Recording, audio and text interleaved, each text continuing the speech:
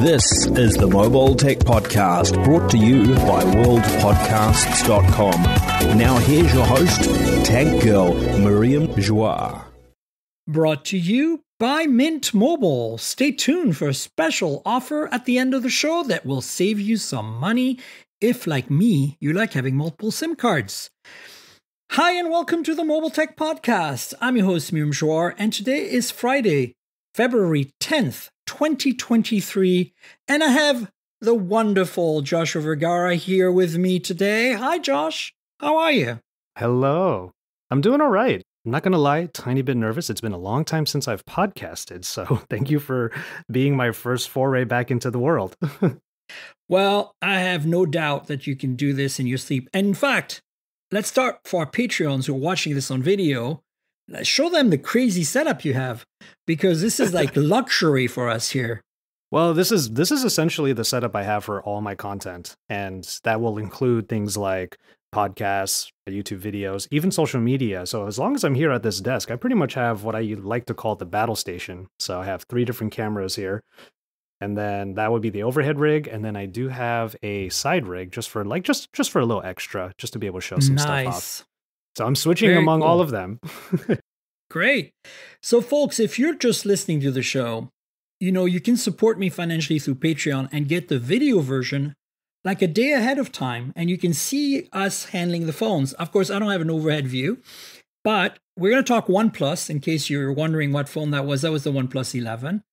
And uh, yeah, Josh, overall, what are your thoughts on this phone? I mean, I have a lot of to say. So, and we have a lot of time. so, we do have a lot of time. And you know what? We had plenty of time even after the actual India launch. Uh, we were all hanging out and kind of um, debriefing on the announcement and the phones. And some of us have had it for some time, of course.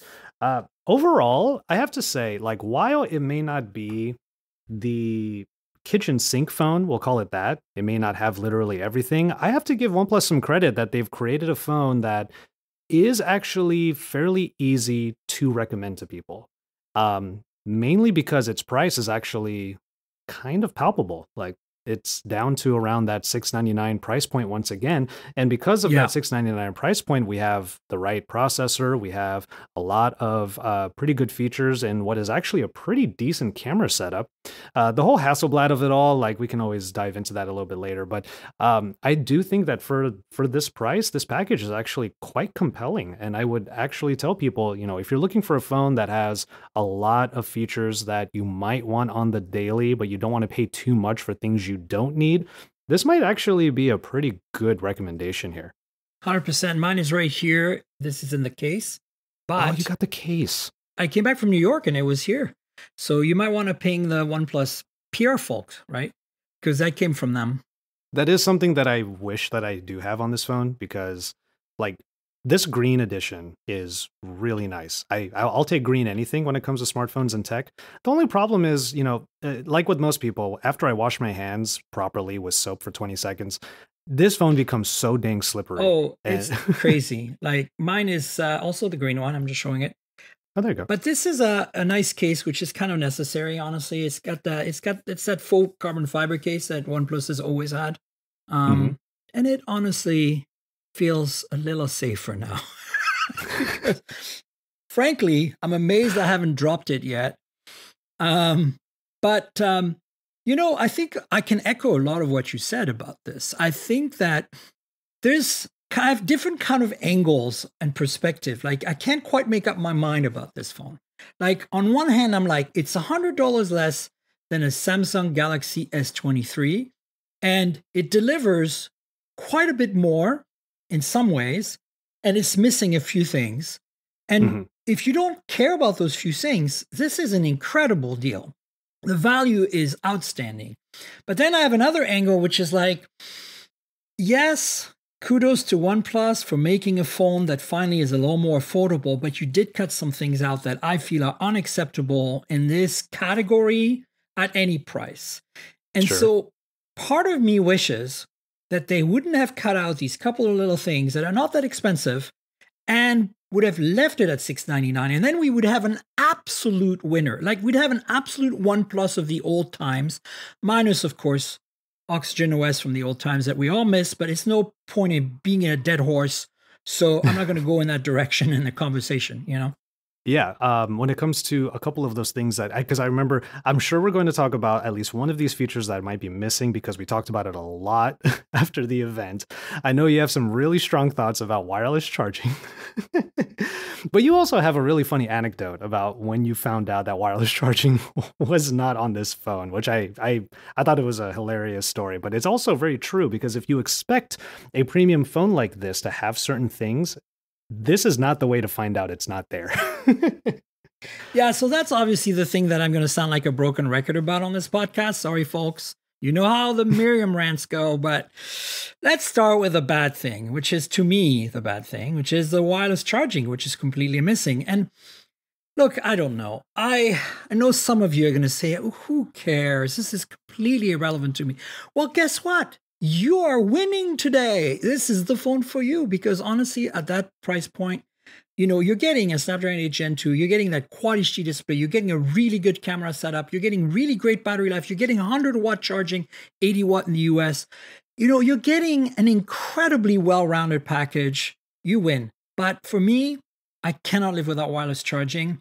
And it was really vexing that after multiple OnePlus flagships, you know, like T models accepted, we we just dropped that feature. We just and we didn't even drop it in the sense that it's not even mentioned anywhere. So as you said, my story is I got the I phone, I unboxed it. I'm all happy. I'm like, oh my God, this phone is great. It's hitting all the boxes. OnePlus is back. And I put it on my wireless charging by my Pixel charger.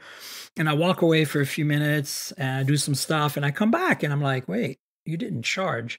Oh, maybe it's unplugged or something. I, so I take my my OnePlus 11, I pop it down on the OnePlus charger. It's at the other end of my office. And I'm like, that's going to go, right? I don't even look at it. I don't see the light. I just walk away. I'm like, I'm done. It's a done deal. Come back another few minutes later, and I'm like, it's not charging. Oh, what the hell? So then I'm like, does it not have wireless? This is when it occurred to me. Does it not have wireless charging? And sure enough, it doesn't. Actually, I had to ask the PR folks because it, in the specs, it doesn't mention anything. So it's like it's, it's omitted in the specs, but it's not like clearly spelled out for you that it doesn't have it. So I was like, oh, you gotta be freaking kidding me. Damn it. you know, yeah. Yeah. Well, I'm I'm I'm kind of in the camp that you were saying, like the other side, where um, wireless charging, while it is a feature that if it's available, I will definitely use it. I'll take advantage of it. I think I have like three here in the office. I even have the um, the old, I want to say it's a Xiaomi charger where yeah, you put it on the I have one of those too. Light, mm-hmm. Yeah, the light comes down and it finds the phone. Obviously, if you put this down, you're just going to see a blinking green light because it doesn't have wireless charging. It's just going to like, it's just going to spin its wheels. But I've been using a couple of different phones that, like for example, um, I, I've I'm still on the Asus ZenFone 9. I adore this phone. Doesn't have wireless charging, so because I don't have it, I just sort of adjust my usage and make sure yeah, that I plug sure. in whenever I need to. Um, but the thing is, I, I don't know. I I do agree that it's a feature we've had on recent OnePlus releases, and it's really odd to not get it this time on a phone that is supposed to be not just a flagship, but it is the sole smartphone that they are making this time around. So to so not they make claim. Sure, oh, fair, fair. That is I fair. Mean, no, no. I, I think their their claims are correct, but I have a mm-hmm. counter argument to that. We'll get to later. But I agree with you. Look, I think that if this this is potentially a a conversation you're fast forwarding to right now because you're like I don't care and so let's you know let's move on to the rest and I will in a second but I just want to explain to you how I I look at it as a from a market perspective.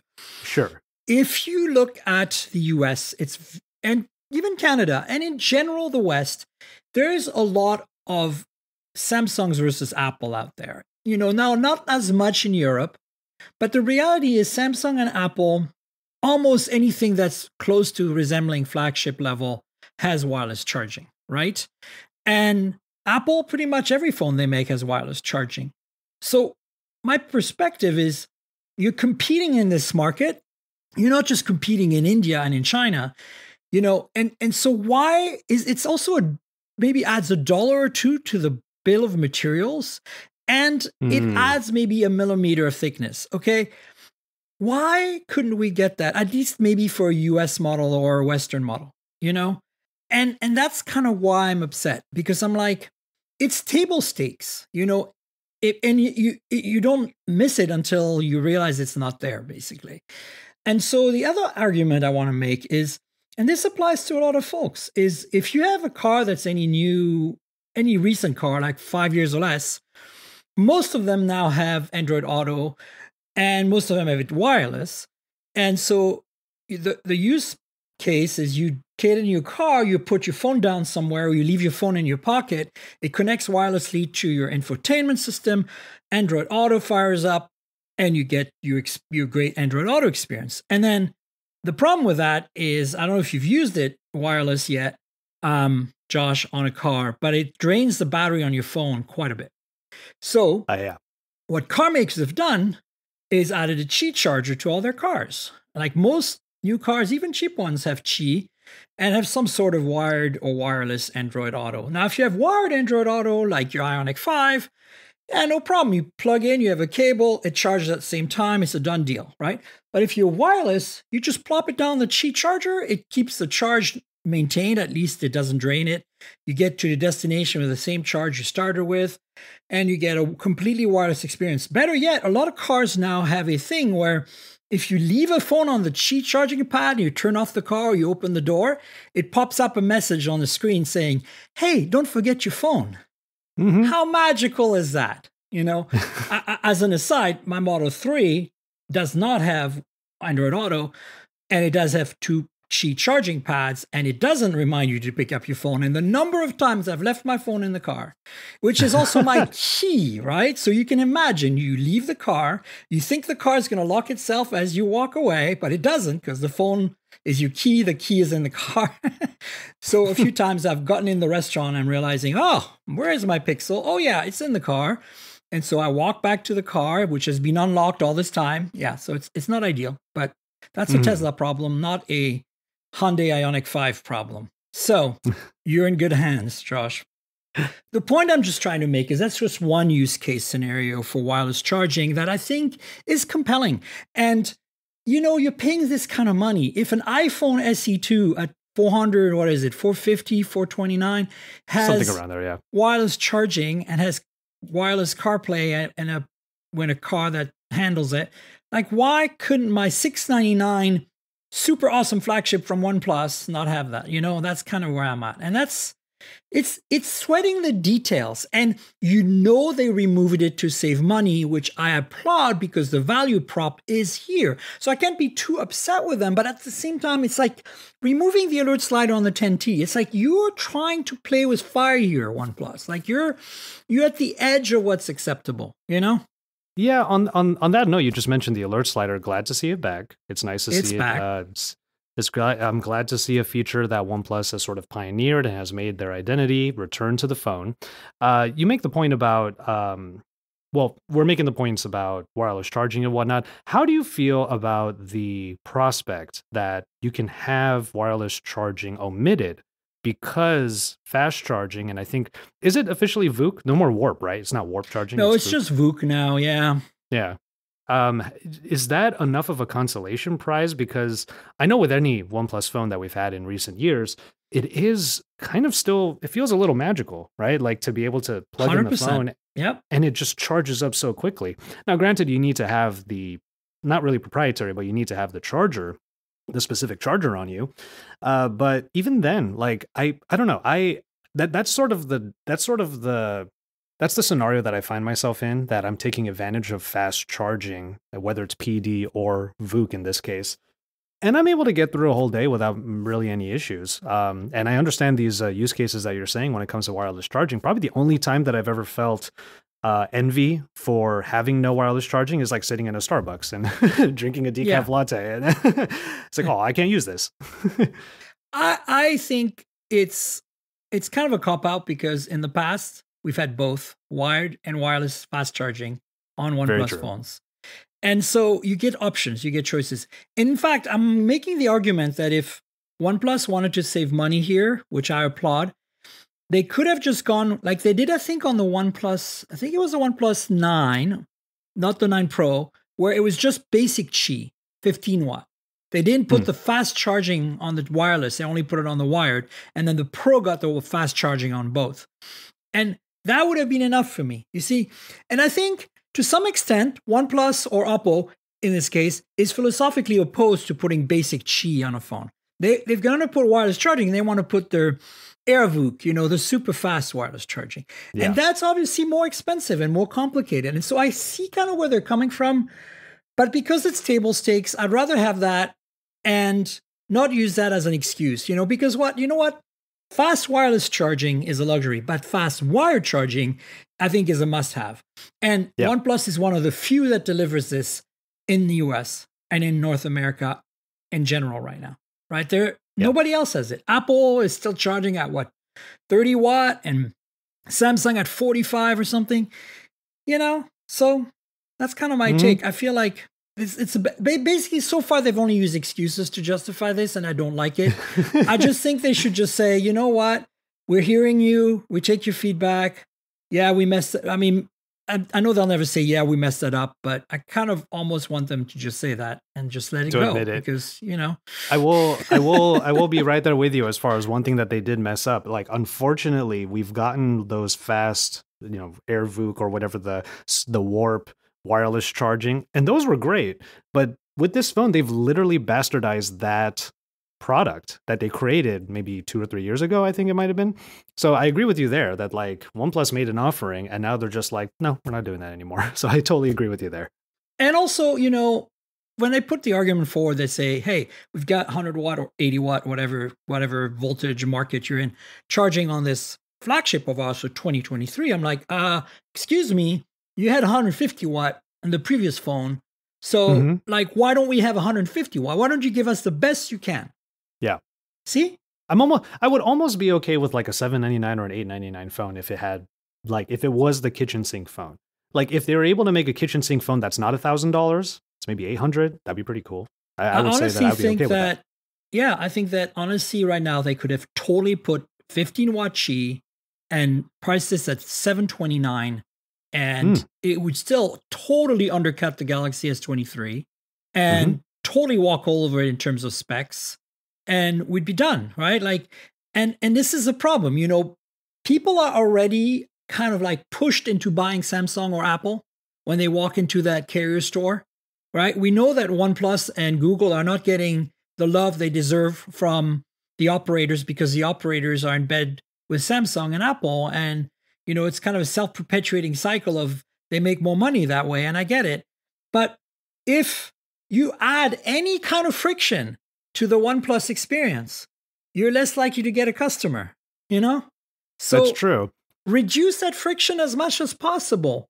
And um, you also know damn well that you know, starting two or three months from now, that phone's going to be five ninety nine, six forty nine, and so so now it would have been able to be six ninety nine if it had been a lower price year and had wireless charging. You know what I'm saying? Sure. Like at that point, like seriously, are people sticklers about fifty bucks on a phone that costs seven hundred dollars? I I doubt it. I could be wrong, mm-hmm.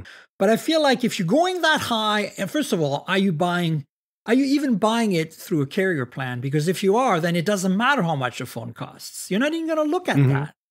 You know, that's very true. To uh, to OnePlus's credit, uh, one thing that I think we that I think many of us were kind of impressed with is just how wide the availability actually is, and I'm talking like regionally. You have this phone actually being sold by OnePlus in the Middle East, in parts of Asia that they were not officially in in the past. Like I have to give them a little bit of credit there. Maybe that's the power of Oppo as their parent company. I think so. Yeah. Yeah, so I think I think that's nice though. Um, I remember uh, shout out to our buddy TK um, when he heard that it was going to be in the Middle East. In the middle of the presentation, he actually audibly went "What?" and he walked over to the to the screen. It's actually going to be there. That's crazy. So like kudos to them on that. And I I don't know. It's one of those things where you know it, it almost feels like OnePlus or Oppo or whatever you might call it, um, they're trying to just make a phone that like all of these markets could kind of agree upon. And for us here in the West, we know what is possible because we have had it in the past. Right. But now it's a it's a 699 phone that's now going to be available in so many places. They got to cut costs somewhere, I guess. Yeah, and it's also interesting. I would like to add that we're talking about walking into carrier store. These are not officially sold at carriers right now. Like they are. True. There's no carrier deal here. So the only carrier offering I'm talking about is go to OnePlus's website and get a line through T-Mobile. I think there's an option to do that, but I don't think there's mm-hmm. an actual. You buy the phone from T-Mobile lock to T-Mobile directly in the store kind of deal. I don't think that's mm. happening this year, which is interesting and kind of a step back. And I'm not against it because you know I'm a big proponent of buy your phones from the manufacturer unlocked, don't mess about. But I know that for a lot of people, that's another obstacle, right? You're on a family plan. it's time for that discount you're going to get on your new phone. It's been two years. You're ready to upgrade, and now you can't walk out of the you know AT&T or Verizon store with your OnePlus. You have to go to, you know, OnePlus online or Best Buy or whatever, Amazon and buy it and then get a line somehow some other way. I can yeah. see that also being a challenge for mass adoption. But I don't think this phone is for the mass adoption kind of user. I think this phone is for the people who are again tech savvy early adopters and very value and you know, bang for the buck focus. And as such, OnePlus has delivered. I feel that that's, you can really say they've delivered. And mm. in a way, that's kind of back to their roots, right? Because remember, they have cut out features in their previous phones that we, you know, wireless charging for a long time. Uh, even we didn't have NFC on the OnePlus 2, which they quickly corrected. you know, true. like I do know that it's hard. It's it's a hard place to be in the phone business right now, and I don't want to be too hard on OnePlus, but at the same time, part of me is like Oppo has a massive BBK Group is a massive empire of a company. Like they just could absorb the cost. They could make a little bit less profit on this phone and please everyone. And that's where it bugs me. And you know, related to this, I want to bring up some. Let's talk about cameras a bit now. I, I am a bit bummed that we're getting the same weird 2x telephoto that we found on the Find X5 Pro and on the Oppo Find N2, which is a essentially a portrait lens, like for for portrait photography, and it doesn't have OIS. And it's not a particularly exciting sensor. It does have autofocus at least. But I'm kind of questioning why.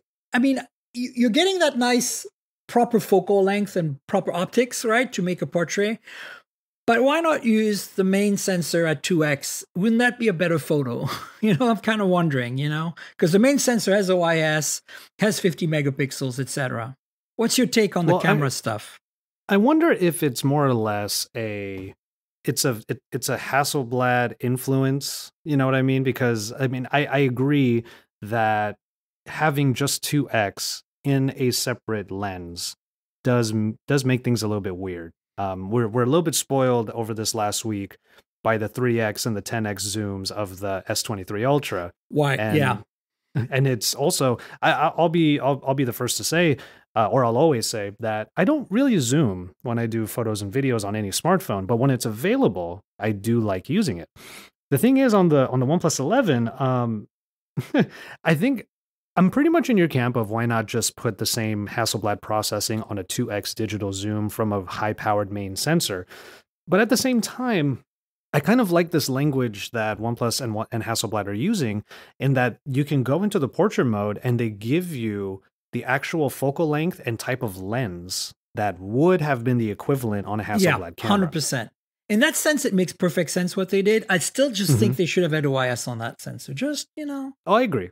Yeah. You know, that's a, it's, it's like the OnePlus 7T back in the day, right? Had a 2x telephoto with no OIS. And at the time I said the same thing. I'm like, "Oh, you are so close. You are so close. You're giving us an ultra wide that has autofocus for macro shots." You know, mm-hmm. and you're giving us a great main sensor and you're giving us a telephoto, but then when I zoom in, I can't keep it stable. But it's not the same here. It's more of a portrait lens. This is more of a, as you said, to satisfy the Hasselblad experience, which I think they've done a phenomenal job with. I just want to point out a couple of quick things. This camera system is actually technically better and worse than last year's. Um, it's got a Sony IMX 890 main sensor, which is a little physically smaller than last year and the year before's IMX 789 and 689.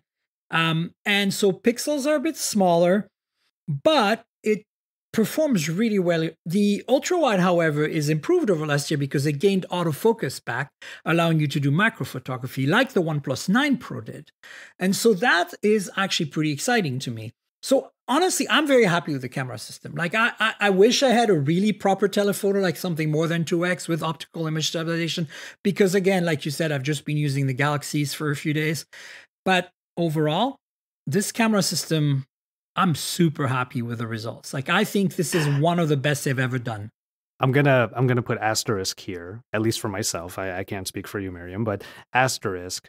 Satisfied with the cameras, satisfied with the asterisk rear cameras. oh yeah, yeah, oh, I, oh yeah. No, I'm not even talking about the selfie camera. Sorry, I just okay, want to talk about the rear rear sensors. Yes, a hundred percent. Yeah, because that's where my that's where I draw the line is that um, not to say that the quality of the front facing camera is necessarily all that bad when it comes to photos, but I still am just so flabbergasted at why all of these Chinese phones just do not think 4K on the front facing camera is important at all. That's just really my biggest issue, and it's becoming way too common for this to be a problem. Yeah, Actually, it's funny because you know the only OnePlus phone that's ever had 4K video recording on the front was the original OnePlus Nord, which had 2 mm-hmm. sensors in the front. And it actually, I was amazed at the time. I was like, "Wow, 4K 30 on the front on a OnePlus phone? Yeah, they're getting it." And then every phone after that, every single phone, all the way to the like $899 or whatever it was, top of line Pro phones, nothing. And Oppo is the same. Like a Find X5 Pro doesn't even have you know, 4K video on the front. It's like, what the hell? Yeah. Exactly. In the in the age of TikTok, from the country that made TikTok, I understand that 1080p video is like TikTok's like milieu, but still, like if you are a serious content creator and you want to be able to use your smartphone for a lot of that content, you're going to want all of that data. You're going to want all of that detail even if the end result's going to be 1080p in the app that being said, like you can record 4K and upload it to TikTok, and there's even a, an option now in TikTok where it says upload at the highest quality. You can do that. Why can't huh. we do that? and uh, 4K gives you cropping options too without losing quality. You know, last Indeed. night I was at a restaurant and they had a little robot server, like a little robot. So I took a little video with my S23 Ultra and I cropped it after the fact, you know, because it's 4K. Like it was, I didn't center it right because I really had like two seconds to capture it because the robot was disappearing and I wanted to get it and I got it. But then I looked at it, I was like, oh, it's a little too dark and oh, it's not cropped right. So I cropped it and I had 4K to start with. So I still am going to have a perfectly usable video when I post this as a reel later on today, you know? Mm-hmm. So it's that kind of stuff. But overall, I mean, other than front camera, I think they've done a good job. I think this phone just hits all the right boxes. Like battery life is great. You know, the Snapdragon 8 Gen 2 is such a phenomenal chip. Like just performance, efficiency, ISP improvements. It's just rocking it. And uh, the phone is, you know, it's this is a proper OnePlus flagship in many ways. As I said, like, you know, not just the specs, but like metal frame, you know, like it's not like the 10T had a plastic frame, for example, or like the, Very the 9 had a plastic frame. You know, things like that to me are, again, sweating the detail. I, I hate to remind you, folks, that a Pixel 7, even a Pixel 6a, has an aluminum frame. Uh, an iPhone SE is an aluminum frame. To me, this is, you're going to say, I don't care, I'm in a case. But you do care because it's, it's like, why would your money get you less? Right? Very, very That's kind of where I'm and at. It do, and it still feels like a premium phone, no matter what. Oh, it no feels matter what. phenomenal. Yes. Aside from the slipperiness, I'm still going to keep calling that out. But um, that case, I'm still envious of your case. yeah, for sure. Anything else you want to mention about the OnePlus? I the only thing I can think of is it's a bit weird that the charging brick is a USB A brick and not a USB C brick like before. Have you noticed that? I did notice that. And hasn't that been the case for many of the bricks over the last like few years? It's kind of a um, lottery, but in the last the last few like the 10T and the 10 Pro and the all those were USB type C bricks. Oh, okay. Yeah. I'm not remembering that. The 10T is one of those phones that like okay, cool, and then it's out of my memory. well, Actually, it had a 160 watt brick, so yeah. Uh, you know what's crazy? Uh, and we don't have to dive too far into this, but my 10T actually bricked.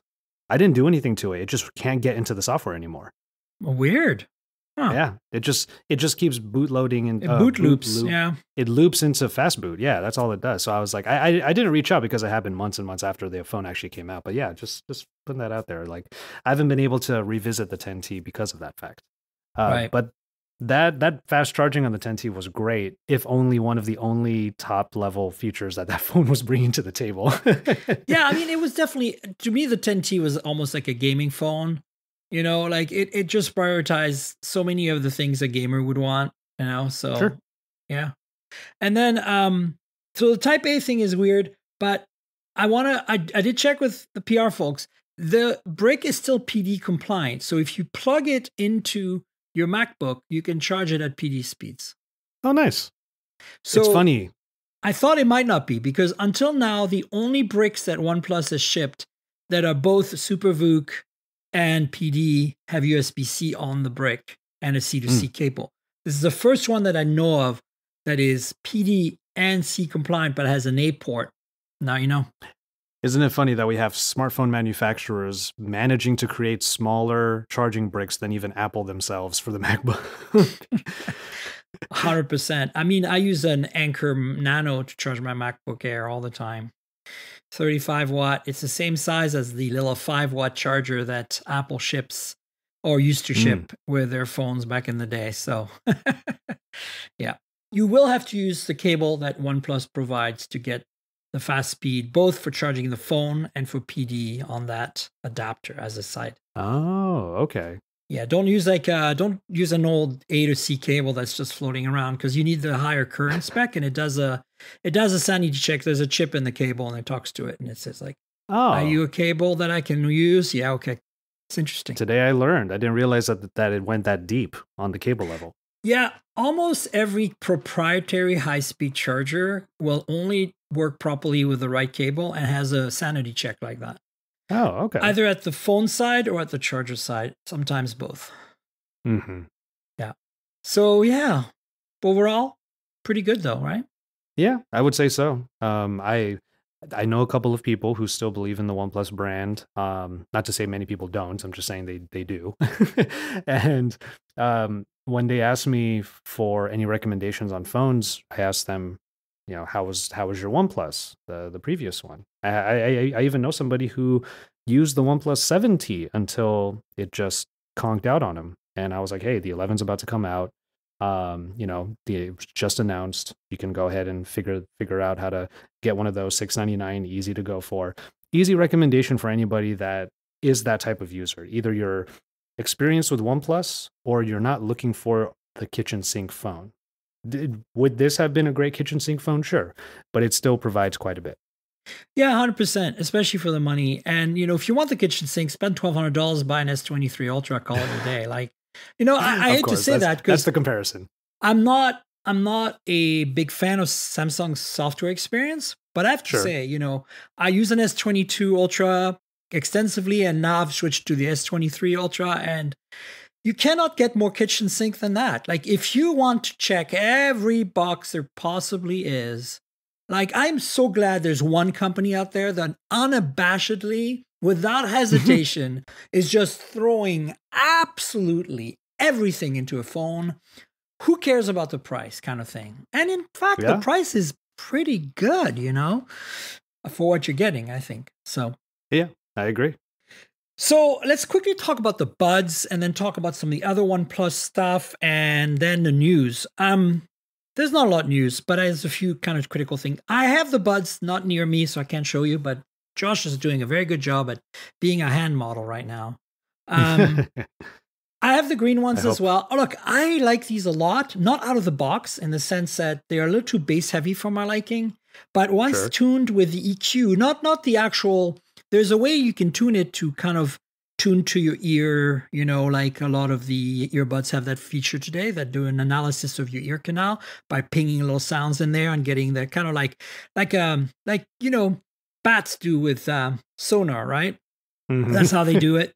And uh, that works pretty well. But for me, I like to have an actual EQ I can set and then have the EQ stay, like the settings stay with the buds, no matter where you pair them. So if you pair them on a device that doesn't have the software to control the buds, you don't, you still keep the EQ, still keep all the settings, right? And that's one of the wonderful things about these earbuds is that have EQ settings that stay with the earbuds. So once you EQ them the way you like, they're phenomenal. The noise canceling is great. They have wireless charging. They are comfortable. they have wireless charging. yeah, that's the irony, right? Um, they're comfortable. Um, I like the fact that the controls are squeeze, like the Air Pods Pro and they click. You can hear the click sound. So you actually know mm-hmm. it's not like I hate the tapping ones because I'm always tapping something by accident and I get like noise canceling turns off and I get angry. And so I go in the app and I disable all the tapping stuff, you know, if it lets me. Yep. And then, of course, then I can't control anything. Then I have to pull out my phone or my watch and it's just a hassle. So this is a really, honestly, one of my favorite buds in 2023 so far, well, or even 22. Right now, just so you have an idea what I'm using, I have the Sony LinkBuds S, which are up there. I have the Realme Buds 2, which are really affordable noise canceling earbuds, $49, guys. And then I have the OnePlus Buds Pro 2. And I have, what are the last ones? Oh, you know what? I'm currently using the old Galaxy Buds Pro, not the new ones not the Pro mm. 2. And I rediscovered those recently, and I, they were just in a box, and I was just, oh, I haven't used these in a while. And I put them in my ear. I'm like, I really like these. They're really nice. So those are the ones I'm rotating through. What about you, Joshi?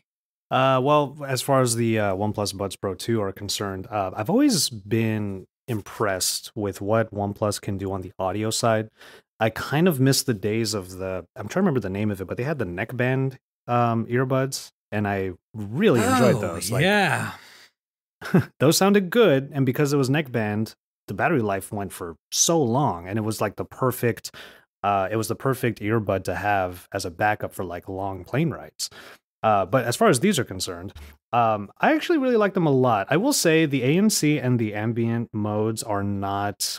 They're they're kind of middling. I think I'll use the word middling. Um, they're not they're not particularly um, they're not extraordinary by any means. The ANC is the type that you turn it on and it does it does take away a fair amount of the noise around you, but you have to fill in the rest by actually listening to something. These are not Correct. going to have like a yeah. proper earplug effect like some other yeah. earbuds. And then the and then the ambient mode, the ambient mode is serviceable. That's the term I'll use for that.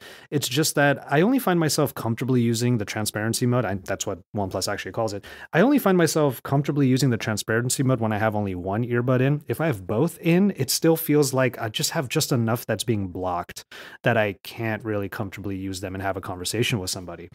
Um, so those are just a couple of things to like kind of keep in mind with the quote unquote premium features of what are actually $179 earbuds. And then there's a feature that I feel like was only made for somebody like me. Oh, it's amazing. I love it too.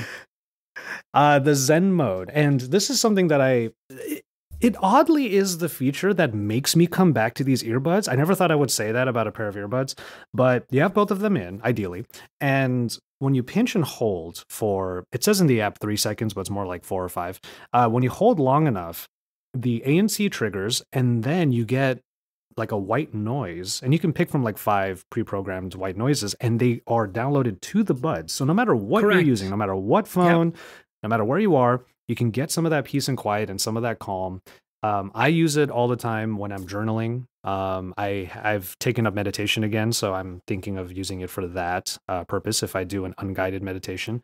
But it's just kind of cool that they were able to do that. Um, it makes me think for other people who may not be into the Zen mode type of feature uh, it'd be great to like pre-program like one song into these earbuds, so you always have yeah. something available. Like that would be kind of cool. no, I love that feature too. I think it's really clever, and they had that on the previous pros, I think. But this is really well implemented. Overall, it's it's you're right. They're not the best. Like ANC, the best sound. Again, you can tune that. But I feel that there's so many little details they got right. And overall, the experience is one of the best. Like you're going to get better noise canceling from the Sony Link Bud S for sure. But agreed. You know, and the sound is really good on the Link Bud, but i am having connectivity issues with the Link Buds often. You know, I, they're not as mm. stable to me, and you know, they're not as comfortable necessarily either. Whereas I feel like th- those OnePlus Buds are really great, and it's kind of I feel like kind of like this. They're the closest thing that's not Samsung to an AirPods experience You know, including the so. setup, the fact that on a OnePlus phone, all the EQ and all the settings are baked right into the firmware in the Bluetooth menu, whereas you have to use the Hey Melody app on other Android phones. All these little things are what I think distinguishes these. And at 179, you know, they're not like cheap, cheap, like $99 or like my favorite, the $49 Realme Buds 2 that are absolutely, trust me, buy a pair on Amazon. You know, JV, they are totally worth it as a backup pair because they are incredibly good sounding, have good ANC, and just cost nothing. Like they're just amazing. I gotta try those. And they have software too. Forty nine bucks. anyway, but my point is, you know, for 179, I think they've hit the sweet spot and they didn't leave out any features. Wireless charging is a nice perk here. So kudos to them. I like the buds. Same here. I'm a bit, I'm a big fan of them, and they may actually have a semi-permanent spot in my bag. In all honesty, I feel the same way. These are going to replace my Link Buds S, I think, which were so far my my go-to. Yeah. So a couple of more OnePlus products I want to just briefly touch on. The OnePlus Tab. Holy crap, right? Like I thought this was going to be like some kind of rebranded Realme tablet, you know, 10 inches, $300 you know basic no no not much thought given it to it just you know you know watch netflix on your on your lap kind of deal. But no no no they're going after the ipad pro almost on this thing aren't they? Mm-hmm. Yeah uh, right down to even the shape of it. Like it's got a it's got a pretty odd aspect ratio that may or may not be useful for for people that are looking to multitask in particular. I remember they did say it, it'd be good to have like two vertical apps um, on this type of seven by five aspect ratio. Like I've never I even said like that before. that. Yeah, yeah, it's interesting. I dig it. Um, it also has some of the features that I feel like a lot of people would want from the smartphones, um, and they've injected it into the pad. So the OnePlus Pad also has like 144 hertz refresh rate. Uh, I don't remember if it's a full HD or a quad HD resolution display. I feel like it's full HD, but Let I, I could be wrong. Okay. Um, yeah, I'm I'm trying to look through the the article as well, but I can't see what the resolution is. That being said, it also has um, 12 gigabytes of RAM, a 9,500 ish milliamp hour battery, and it can be fast charged at 67 watts. Like these are features that we would like want from a OnePlus smartphone, and they're just kind of taking that philosophy and putting it into a tablet.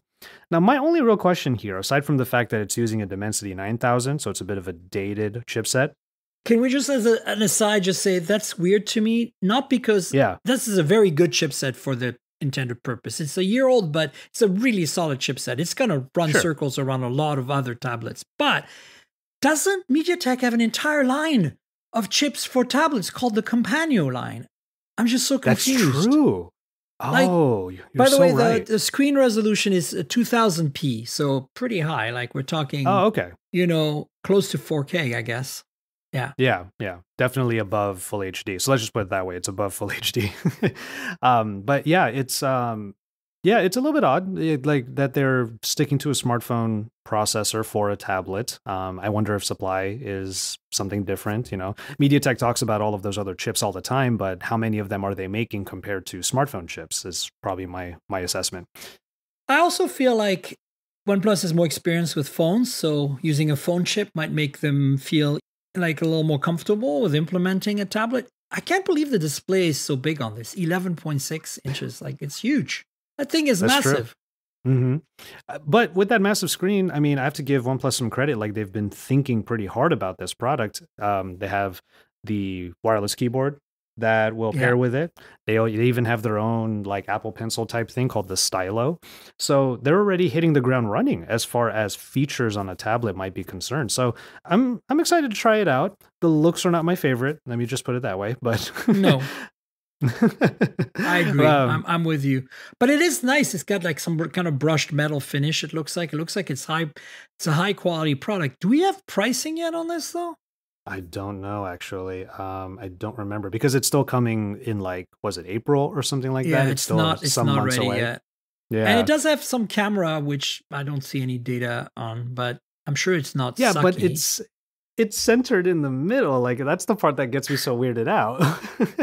And it's got a camera pod yeah, it's it looks like a cyclops is what it looks like. It's got a cyclops on the back. I think it, it looks different enough that I think this is a good thing. Like honestly, I think this is a this I don't like the design myself, but I think it's a Good thing that it's unique and it's Fair. big. And obviously, it's going to be in India. I don't know if it's coming to the West yet, but I think for that market, it's going to really hit the spot.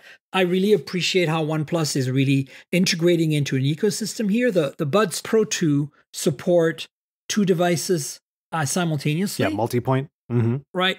And so I can see that being a really boon for having a OnePlus phone and that my OnePlus pad using the same earbuds. Also, there's some kind of feature they couldn't explain to me the technical details of it. And you know me, I'm a technical person.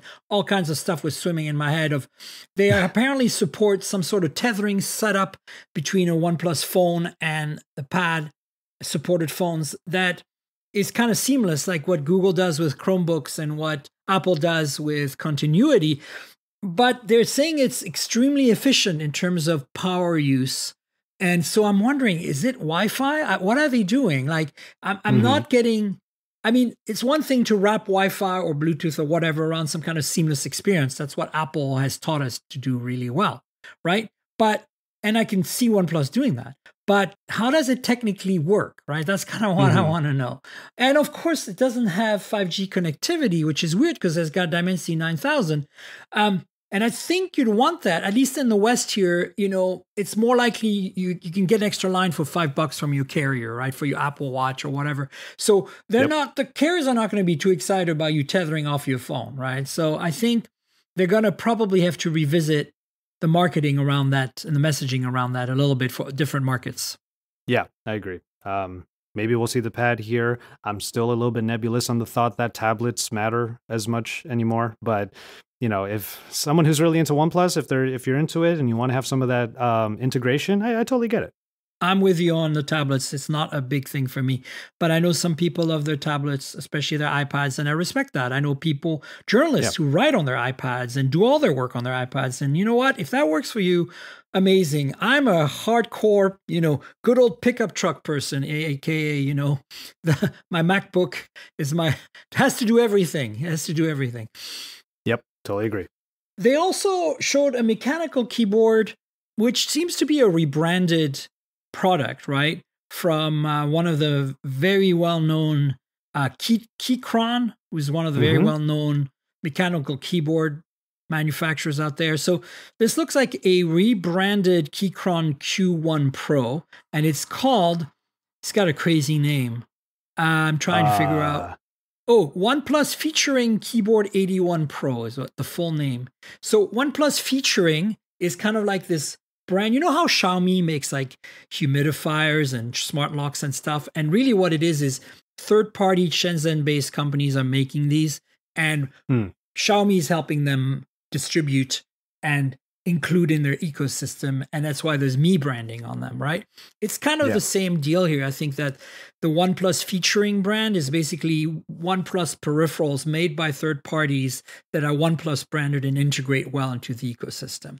And uh, so that's why the name is. And this thing is really for mac. I mean the keyboard layer is for mac which is really interesting.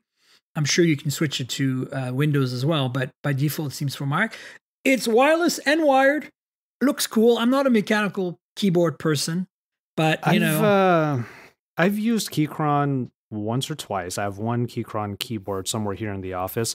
I, I have to say, it was one of their low profile keyboards. Not my favorite experience, if I'm being honest. Um, and this is a full sized mechanical keyboard, so it might be a different experience. I, I may have just gotten one that wasn't suited to my typing needs. But, you know, Keychron, they've been, they're, they're, they've made their life on uh, crowdfunding and whatnot, but they have put out some pretty good products. I think that having a mechanical keyboard like this really speaks to like the super nerds who just happen to like OnePlus also. that's what I, that's what I love about it. It's so good, right? In a way. I want to try it out. I do want to try it out. One thing that I have to mention though is that like silver bar that's on the back of the keyboard where you can like Mhm. stand the keyboard up so it doesn't take up much room. And I'm like, That's a brilliant stroke of genius, in my opinion. I've never had to do that. Like I have my desk, my editing bay over here. I've never had to take the keyboard out to make more room. Like I just never have had to. So I don't know. Like it's, it's not been a situation I've needed a bar on the back basically to like stand up like your bicycle. Yeah. But yeah. Kudos to them. It looks different. It looks cool. So, you know, I'm down to try it out if it, if it ever comes my way. Yeah, I'm do- totally going to request one just for fun. It's not my thing either. Like every time I try a mechanical keyboard, I'm just like, this feels so clunky to me. And you know, I learned on these things because I'm old. I'm an old. I used those keyboards before. I should be okay with them. But no, everything is so low profile now. If it's not a laptop keyboard, I'm not interested. It's kind of amazing where I've gotten. Like, you know, that's just me, but don't judge me, please. I know you nerds out there are really into your mechanical keyboards, and I respect you and and envy you for your you know ability to type with long keystrokes. It's so much work. Like, oh my god, it is. I don't know. Yeah, a full size mechanical keyboard takes some getting used to when you're used to laptops. Like, I totally agree with you. Yeah. So that's some of the stuff that OnePlus did. They also teased us about something that looks like a folding phone called the OnePlus 11 concept that will be coming to MWC. So I'll be in Barcelona, and so stay tuned for that. Hopefully, we get to see it. But here's the thing last week on the show, we talked about how the government body that approves phones and stuff, right? TENAA or whatever, they, um, mm-hmm had they revealed basically the name of the phones OnePlus V Flip and OnePlus V Fold. And to me, it sounds like we're going to see basically the Oppo Find N2 and the Oppo Find N2 Flip rebranded and re, you know, cosmetically rebadged to be OnePlus phones. And that's what we're going to see a glimpse of at MWC. And that's kind of goes back to initially when we were talking about there'll be no other flagship phones from OnePlus this year. They mean, mm. you know, hmm. slate brick phones. There's not going to be a OnePlus 11 Pro or 11T maybe, but we're definitely getting a foldable from OnePlus this year. I'm I'm feeling it on my heart and I'm so excited about it. I can't wait. This is a proper direction for them. As a fan of the Find N2, I don't see this as a bad thing whatsoever. I hope right? that OnePlus I hope that OnePlus finds a way to sort of inject their own identity into the phone rather than it just being a rebrand or something like that. Um, but yeah, I'm excited to see what if that is definitely the case, then I'm excited to see what those might be. And it sounds like I'm finally deciding to actually go to MWC. I've been on the fence about it for some time, but oh, I guess. I'll I guess I will uh, go, and this will be one of the things that I seek out. For sure, me too. Speaking of BBK Group, this next piece, now we're into the news. This next piece is exciting. Last year at MWC, Oppo showed a demo, a prototype of a phone charging at 240 watts. And we haven't heard anything since then. In fact, ironically, in New York this past week, when we were all there for OnePlus 11 launch party or whatever you want to call it, because it was actually in India, and we watched it on a big screen. So we all flew to yes. New York to go watch the uh, uh, the event in India on a big screen. You know, reasons, reasons. Um, but we, I remember talking with Nirav, I think it was, who Nirav was on my show last week. We were like, hey, whatever happened to the 240 watt Super VOOC that Oppo showed us last year? Well, guess what? Press release dropped last night. There is a new phone in China that looks really hot, by the way, called the Realme GT Neo 5 240 watt. There's two versions. There's a 150 watt version and a 240 watt version.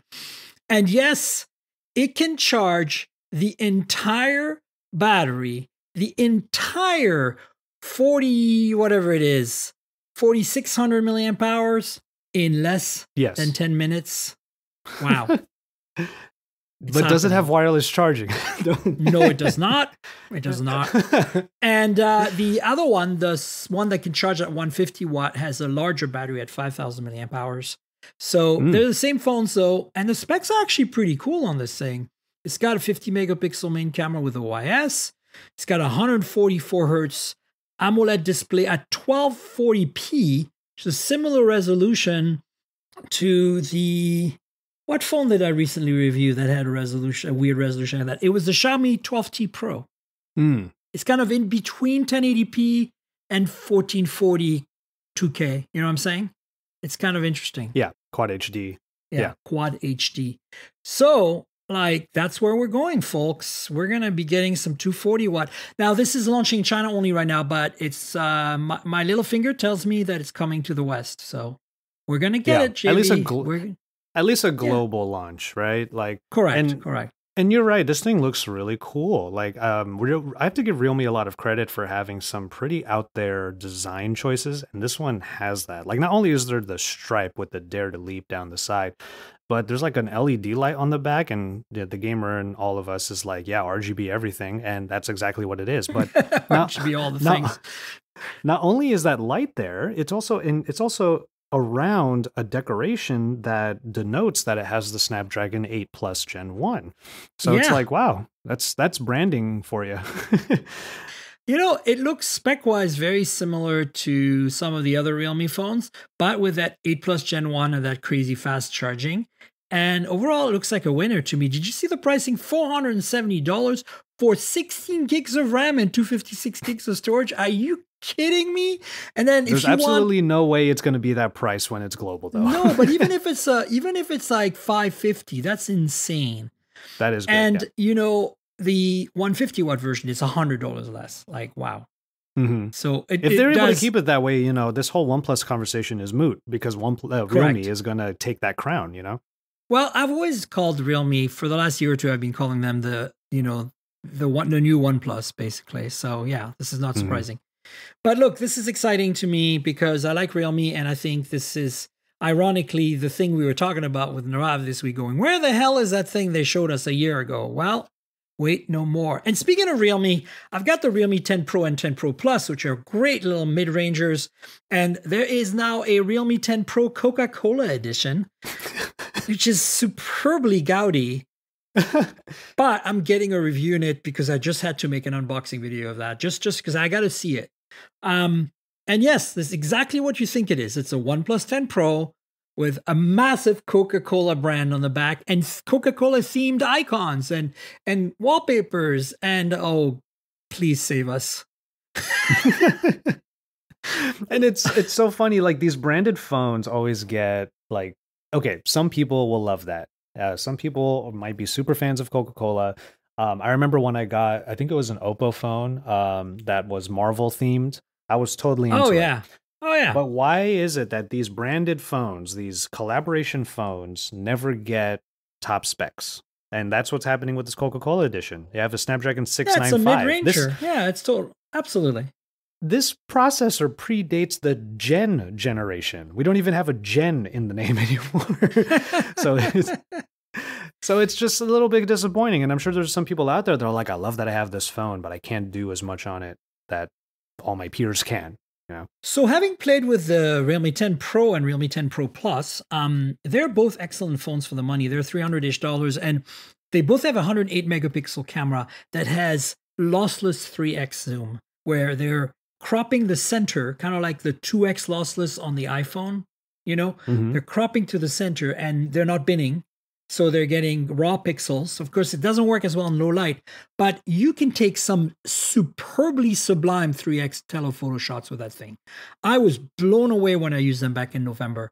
I'm unbelievable. And the, the 10 Plus is a little better because it's got an ultra wide in addition to uh, the stupid sticker cam 2 megapixel macro and it has a dimensity chip that's a little better but um, and also has rounded edges whereas the 10 pro the one that's coca-cola co-branded is just a flat display but they're oled they're at 120 hertz they're beautiful um, i think the 10 pro actually is not oled it's the 10 pro plus that's oled but look the reality is you're right it's a mid-ranger and it's oh boy coca-cola damn but I just who want paid who what for this thing. I, I just like, I just want it. I just want it. It's gonna be it's gonna be unbelievably fun to unbox. Okay. Oh man. One last thing we have to chat about. It's not much, but the Poco X5 Pro is out there. It just feels like I reviewed the Poco X4 Pro six months ago, and I did on Geekspin. Go check it out. Listen, if I put the specs side by side of these two phones, the the the X4 Pro from six months ago, from last summer, and the X5 Pro that just came out like two days ago, I can barely tell them apart. Like they're this has a better chipset at 778G. Speaking of another phone without a Gen chipset, there's a 7 Gen 1 out there. And we haven't it's even true. seen almost any phones with it. Like what? So this is 778G, same chip as the uh, Nothing phone, in case you're keeping track at home. And uh, yeah, it looks like basically everything else is the same 108 megapixel main sensor, lots of battery, lots of good features, really affordable, $400 ish price point, a bit less than that, I think 350 Like, I love Poco phones. I just love them. Doesn't matter which one you give me, they're just all awesome. I have a I have a grievance that will not turn into a big problem. I'm just going to say I haven't heard I haven't heard from Poco in some time, so that's why when when this uh, when this phone was announced or when previous ones from last year were being announced, I was like, how come I'm not hearing from them anymore? So like I'm I'm interested in it. Poco will always have my heart just because of the uh, black and yellow branding that they have. I'm always going to enjoy all of that, and I want that phone. I see the picture, the black and yellow looks real sick. I need to figure out who to talk to over at Poco to get these phones again. I'll hook you up. Don't worry, we got this covered, no problem. Uh, but hey, look, we're looking at AMOLED 120 hertz, 1080p. Let's see what else is there. I'm just looking at the specs. Yeah, the camera system is almost a dead ringer of last year's. Like there's everything is exactly the same in the cameras. Uh, 108 main, 8 megapixel ultra wide, 2 megapixel sticker macro cam, 16 megapixel front with 1080p only. Of course, you know it. Uh, hopefully there's still a headphone jack because last year there was headphone jack. 5,000 milliamp hour battery at 67 watts. So, you know, it's cool. I like it. I think there is a headphone jack. I think I see it in this photo. Okay, good. Because last year it had one, and that was one of the like. I was like, this is so nice. It has a headphone jack. Yeah. Yeah. No, look, eh, I just want. It's basically a PSA for you out there who are big Poco fans. The 5X Pro is your mid ranger of choice. Definitely one of the best values in mid ranger, along with the Realme 10 Pro Plus that I mentioned. Not the Coca Cola one, the the one that's a little better than that. Yeah. And starts at two and starts at 299. Like can't, can't really belabor that point. Like Poco phones manage to be good values. Wow, it's okay, so it's even cheaper than last year's because last year was 350ish, maybe 400 depending on which SKU you got. Um, there's also of course a Poco X5, which is I'm not even looking at that one right now. Wow, wait. the Poco X5 has basically the specs of last year's. It has the the 695 Snapdragon, which the X4 Pro had last year, has a 120 mm. hertz AMOLED. Jesus, it's $250. Yeah. Wow.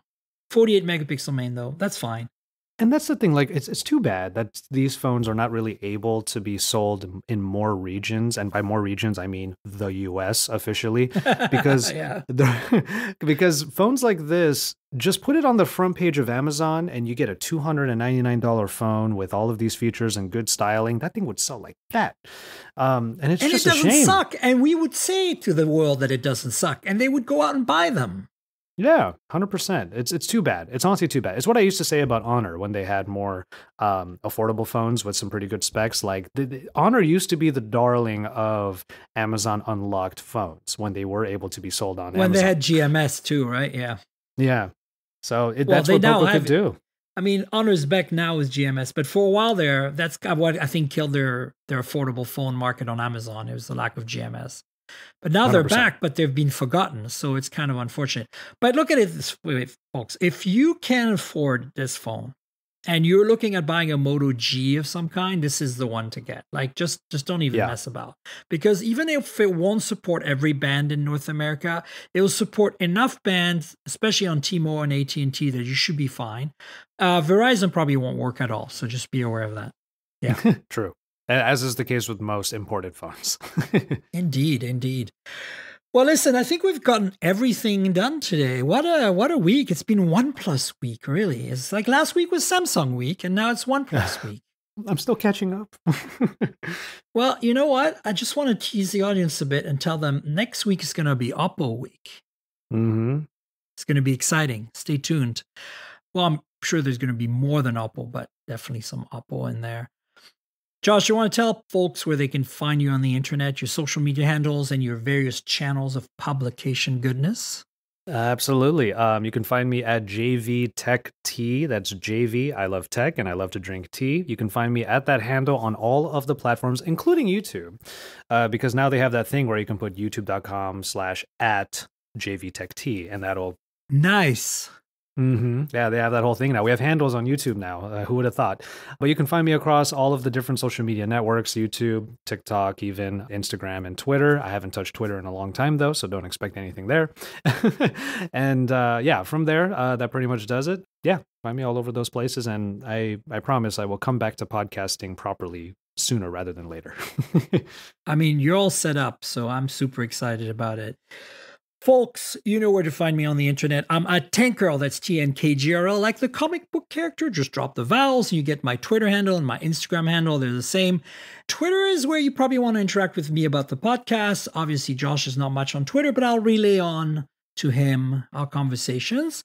And, uh, you know, Instagram is where you'll find pretty pictures of phones, pretty pictures taken with phones mostly. Really, I take them all with phones. Pictures of cars, pictures of travel, food, all the mm-hmm. good stuff. A lot of travel coming up. Yeah.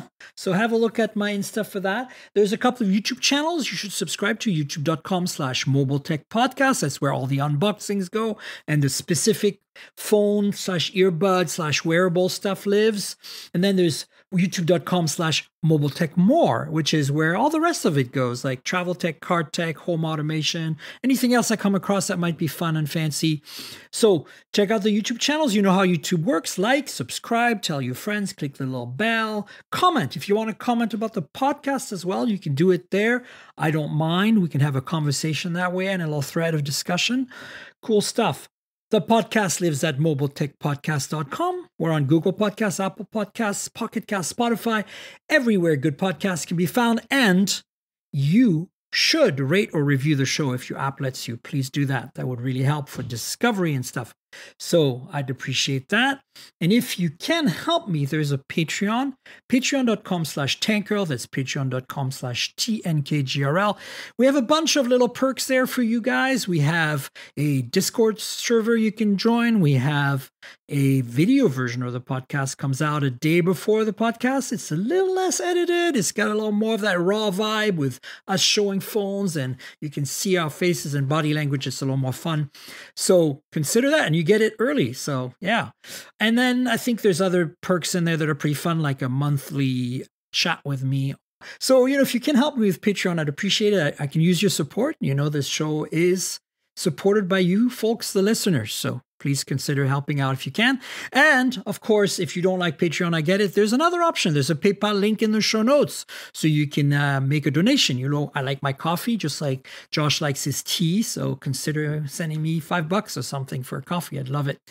I also want to thank our sponsor, Mint Mobile.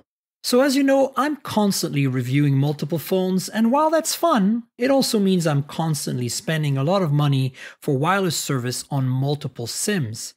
That's where Mint Mobile comes in, and that's who I'm partnering with for today's podcast. If you also want to save money on your wireless service, switch to Mint Mobile. As tech savvy early adopters, you've probably heard of Mint Mobile before, but let me quickly tell you how awesome their service is. Mint Mobile offers premium wireless for as low as $15 a month, and you don't have to sacrifice any coverage, speed, or data. They're built on the nation's largest 5G network. They keep costs low because they sell direct to you online. They cut out the retail stores and salespeople. Why should you pay more than you have to for access to the same network? In my experience testing phones, Mint Mobile delivers the same data speeds and call quality as the big three for a fraction of the cost. Switching to Mint is super easy. Thanks to their eSIMs, you can sign up and activate immediately right on your phone from the comfort of your home. No more standing around and waiting in line at a big wireless store. You can keep your current device and phone number and easily switch services. And if your phone isn't eSIM compatible, Mint will ship you a new SIM free of charge. All Mint Mobile plans include unlimited nationwide talk and text, lightning fast 5G, and free mobile hotspot. Mint will show you how much data you use each month and recommend plans that save you money.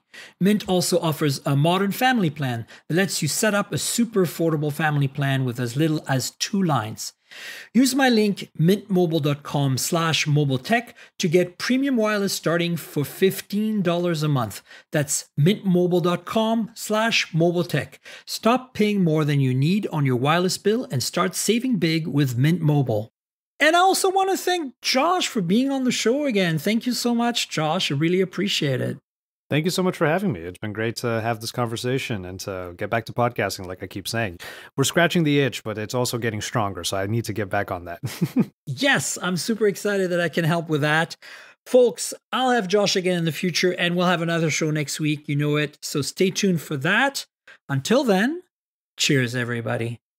This has been the Mobile Tech Podcast with Tank Girl, proudly presented by worldpodcasts.com. You can visit us online at mobiletechpodcast.com.